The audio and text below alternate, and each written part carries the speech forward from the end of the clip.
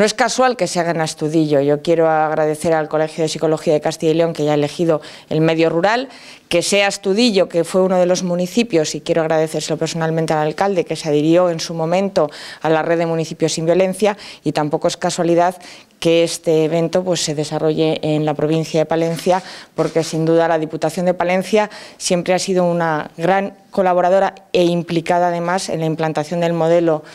de atención a las víctimas violencia cero, en el que llevamos trabajando algo más de dos años y que sin duda pues mm, la presidenta de la Diputación y su equipo siempre ha querido que ser eh, llevar eh, la delantera en este modelo de atención y yo se lo quiero agradecer. Un modelo que hoy venimos también a reforzar porque el Colegio de Psicología de Castilla y León es uno de nuestros grandes aliados en la red, en este modelo de atención a las víctimas de violencia de género, donde todos los profesionales pues tienen algo que aportar y algo que hacer. Y por ello, ese convenio que tenemos de colaboración con el Colegio de Psicología, que se ha venido reforzando, porque son un pilar fundamental, lo decía el presidente del Colegio de Psicología de Castilla y León, Eduardo Montes, que sin duda eh, el papel de, de los psicólogos en la atención a las víctimas de violencia de género, en el sentido más amplio, es decir, a las mujeres, a, los menores dependientes de las mujeres, como venimos atendiendo, a las personas mayores dependientes de las mujeres víctimas de violencia de género, a todas ellas les atendemos. Pero es que además hemos querido reforzar en estos últimos tiempos pues este convenio para atender también a esas eh, familiares, a los ascendientes, descendientes, hermanos y hermanas de las mujeres asesinadas, porque sin duda eh, creo que eh, en, ese, en, ese, ese afán de también llegar a esos entorno familiar, creo que en ese momento también debemos de estar, además sin límite, atendiendo a esas familiares que sin duda pues, están sufriendo un hecho eh, totalmente repudiable como es un asesinato. Hemos reforzado también este, este convenio con otro, con otro aspecto que considero importante, que es la atención a las víctimas de violencia de género menores de edad y también lo hemos reforzado para atender a las víctimas de agresiones y de abusos sexuales tanto mayores de edad como menores en estos últimos tiempos. Pero hoy, y en este entorno que sin duda es importante en estas jornadas, quiero anunciar un nuevo programa, un nuevo proyecto para dar mejor atención a las víctimas de violencia de género en unos momentos que son muy complicados para ellas. Es un servicio que vamos a poner en marcha, que es el servicio de apoyo psicológico urgente. Apoyo psicológico urgente porque consideramos que cuando una mujer se dirige a, un juzgado de guardia, a la, sede, eh, a la sede de las fuerzas y cuerpos de seguridad del Estado, pues sin duda necesita una atención psicológica inmediata y urgente en ese mismo momento. Y eso es lo que vamos a hacer. Vamos a poner un servicio de intervención urgente en sede eh, judicial y de las fuerzas y cuerpos eh, de, seguridad del Estado, en el que venimos ya trabajando con las fuerzas y cuerpos de seguridad del Estado a través de la delegación del Gobierno, con el Colegio de Psicología de Castilla y León, con el Tribunal Superior de Justicia, que estamos liderando y que sin duda va a permitir,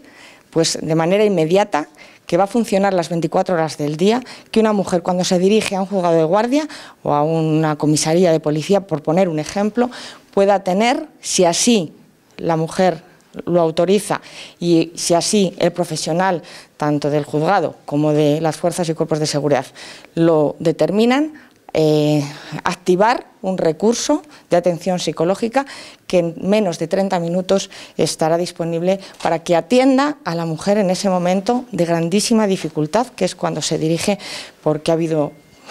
normalmente un incidente en, su entorno y que quiere poner una denuncia. Creo que es siempre es muy positivo el seguir reforzando y mejorando la atención a las víctimas de violencia de género y una vez más, pues Castilla y León con esta iniciativa pues sin duda pues quiere prestar esa atención integral y en los peores momentos que como ustedes saben es cuando las víctimas se dirigen a poner ya la denuncia para que se activen todos los recursos y tener ya allí a un profesional especializado como son los psicólogos que siempre nos han demostrado que sin duda son a través de esa atención especializada capaces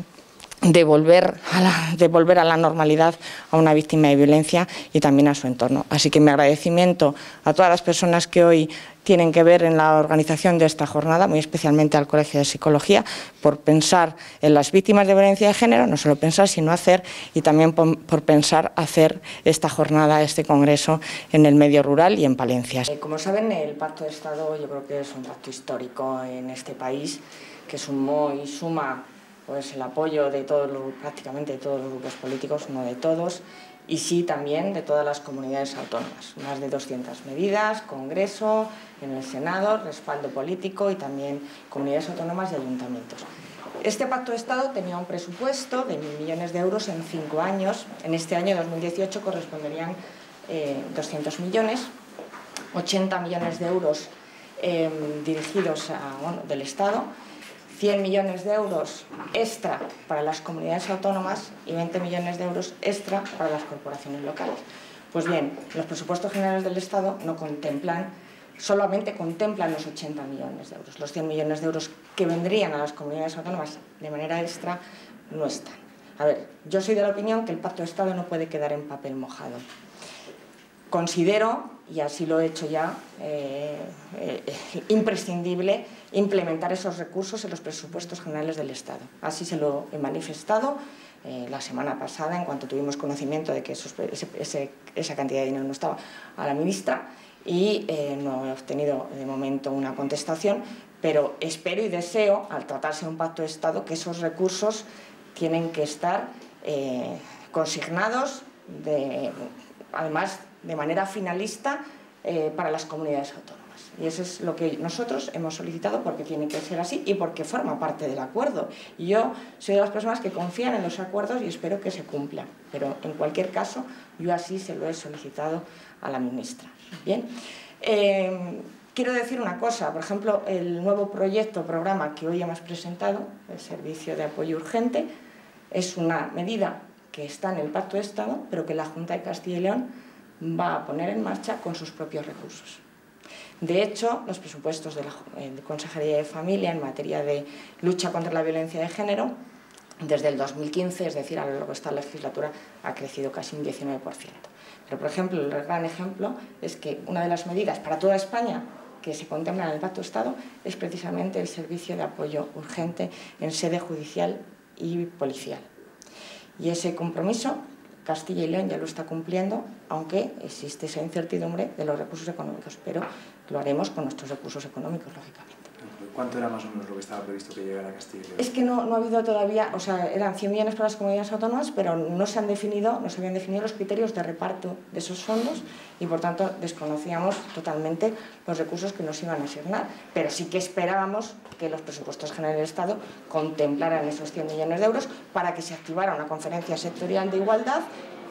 y previamente una conferencia técnica en la que si se repartieran o se distribuyeran en función de los criterios esos fondos entre las comunidades autónomas. De momento, lo que sabemos es que los presupuestos generales del Estado no aparecen de manera finalista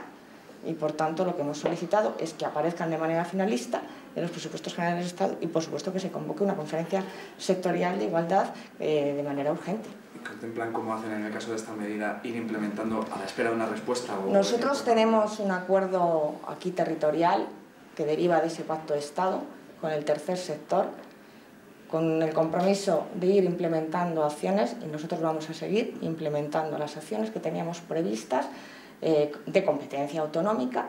y, que sin duda con los recursos autonómicos en previsión de que en el trámite parlamentario de unos presupuestos generales del Estado se implementen estos fondos.